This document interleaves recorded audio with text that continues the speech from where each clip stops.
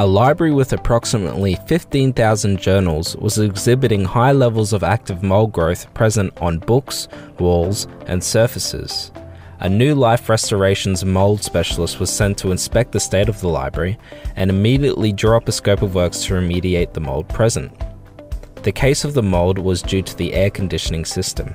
The mold was visibly present on many of the books and shelvings, being Category 3 affected, causing nearby surfaces to be Category 2 mold affected.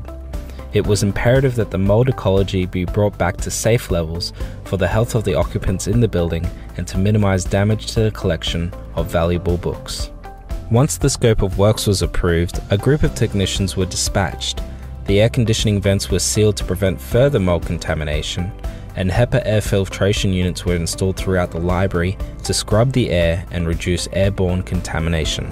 NLR was careful in documenting and categorizing books and shelves in order as they were dismantled and taken.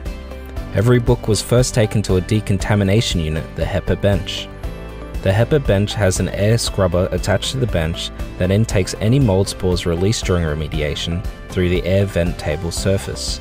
All books were photographed, then HEPA vacuumed. Books with visible mold growth were carefully packed into boxes. These boxes were packed sealed tightly and sent off to a radiation treatment specialist organized by NLR. Irradiation would ensure the books were sterilized.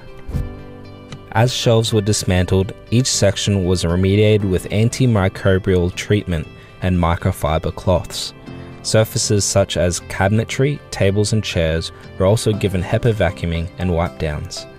Once completed, 10 HEPA air filtration units were left on site for 5 days to continually scrub the air of residual mold. Once the books were treated off site, the boxes were collected by NLR and dropped off in the room.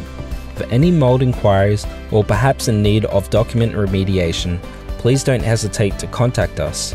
You can do so by calling 1300 356 633 or by visiting us at nlr.com.au.